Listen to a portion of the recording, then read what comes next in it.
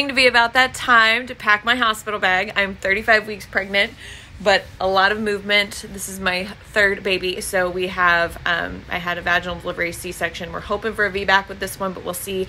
And you'll see some of the things that I've chosen to pack. Um, and then I'll also include some additional resources and I'll tell you how to find those at the end. But let's get to it. All right, so I've got my hospital bag. This has a lot of space and I can put shoes at the bottom. So I love this one for just overnight weekender type stuff.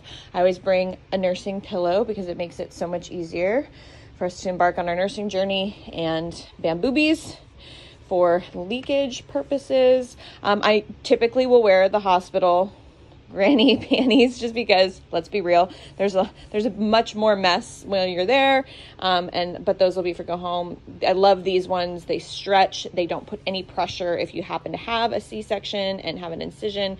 So i love those. Some of my favorite like um, bras that are easy on um, and i'll link those as well. I bring my diffuser and my favorite essential oils and then stuff for low back i tend to have a lot of back labor so that always feels nice. I'll use that. This is an incredible band. So if I do end up having another C-section um, by the same people that do this, again, I'll link all of that for you. But um, this gives you just a nice little bit of support, not too much.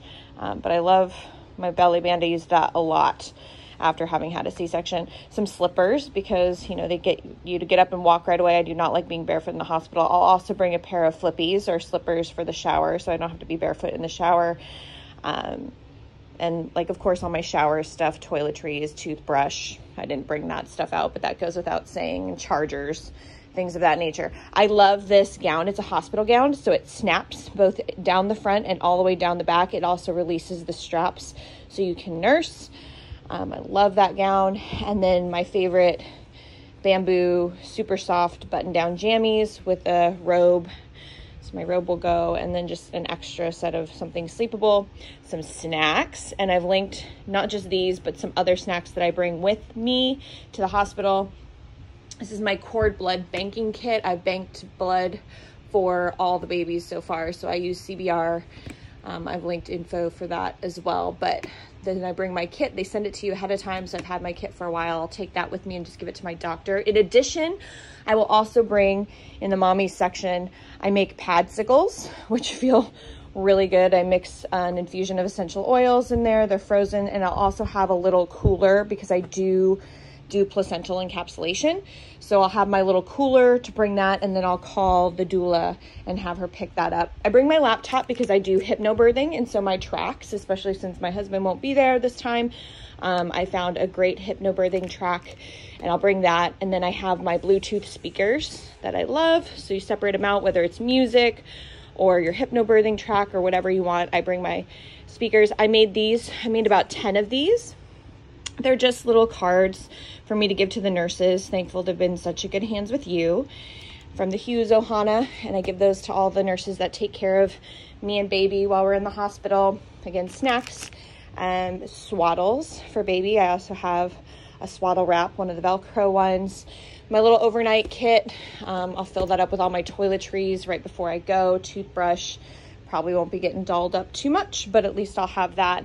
And like newborn and one at least one preemie size because with Kai Bear she was little although little man is already bigger than she was at birth at 35 weeks.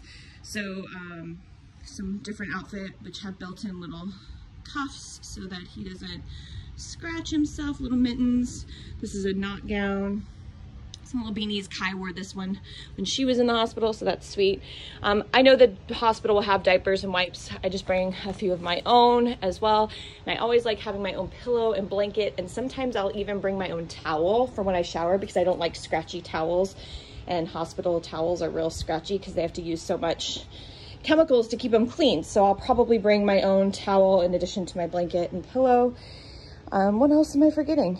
I think that pretty well does it. And all of this will fold up nicely and fit in my bag and I'll be good to go.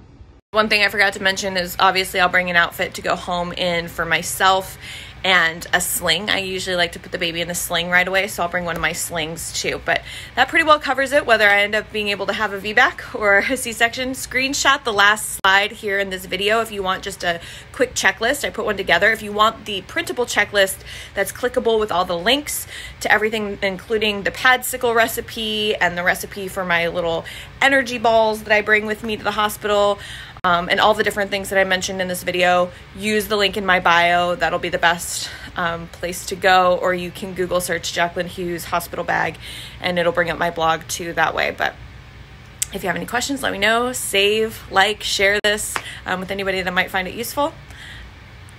Let's do this.